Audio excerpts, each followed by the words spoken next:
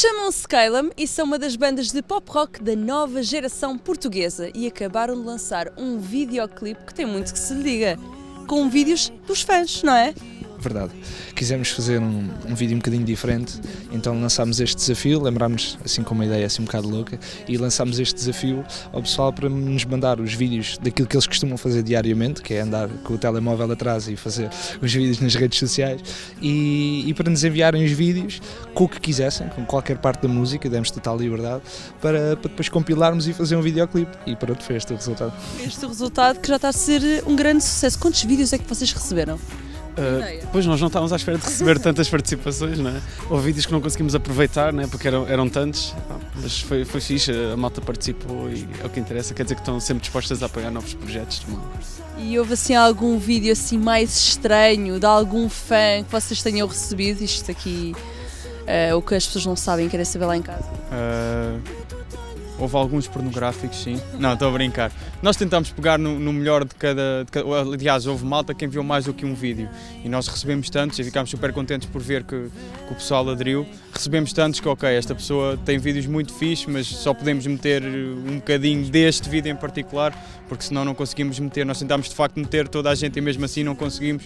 Uh, mas ficámos super contentes por saber que, que, o pessoal quis entrar neste nosso projeto, que agora é deles também. Mas falta-me a força sem ti, quando final evitaste, senti como se o mundo fosse acabar. Prometo, tenho muito mais para te dar. Vocês não têm parado, têm estado de norte a sul do país e também já estiveram em Espanha.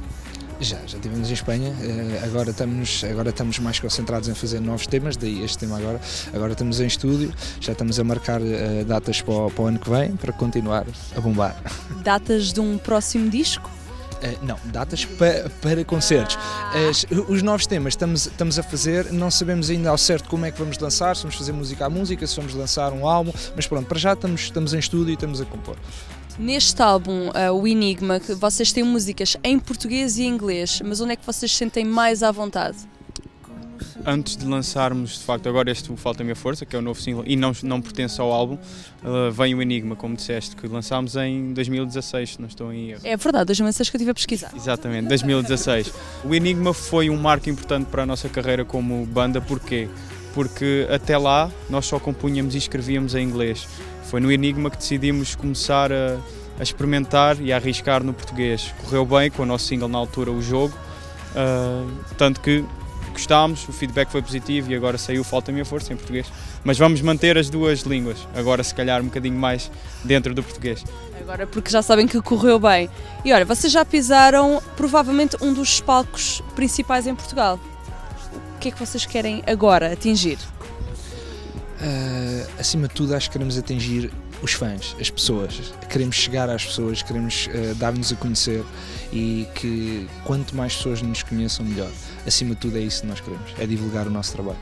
Quero sentir de novo o que